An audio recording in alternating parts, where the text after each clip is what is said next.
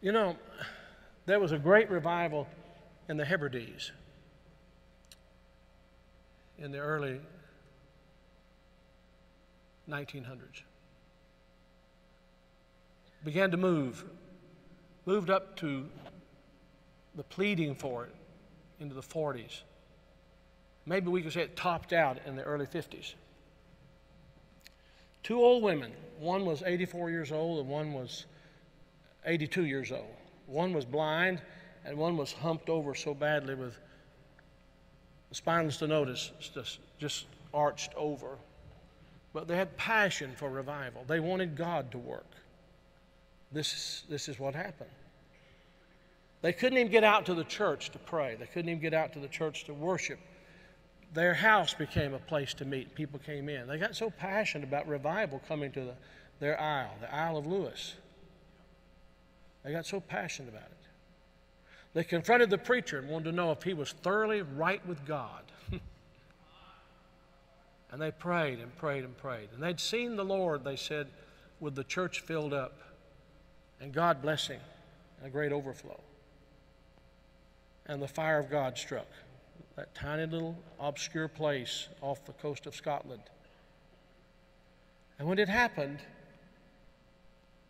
there was a young teenage boy that got saved in it. His name was Donald. And the preacher became so dependent upon Donald and so close to Donald, he would ask him to lead in public prayers and help him with the meetings, and he did. Oh, how God worked. People began to hear about it, and the revival fire spread. It spread. And God blessed in a, in a great way. Those two old women, the people, kind of people people don't want in their church anymore. And from that same island, there was a, a young girl who was a cousin to Donald Smith who immigrated to America. Her name was Marianne Smith MacLeod. She came to America in 1936. She met a man named Fred. And they were married. They fell in love. They were married. God blessed in a great way. And those old women were her aunts. And they came out of that fire revival, that fire revival. They really experienced revival. And they sent a Bible a copy of the Word of God that had been used in a special way in that revival to Marianne. She started having children. I think it was 1937 she had her first child. They named him after his father, Fred. Then she had her second child, named after herself, Marianne.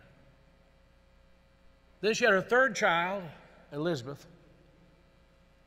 Then she had her fourth child, and she was so impacted by this teenage boy God had used in that revival of the Hebrides. She named him Donald. And she gave him that Bible, that Hebrides Revival Bible. He was born in 1946. He's now the 45th President of the United States. And that revival Bible is in the Oval Office. I'm saying to you, I don't know how, why, I don't know how it all comes together. But I, but I believe God is putting some things together to give us just a window, just a window. If He, if he could find some open people who know what the wind is for.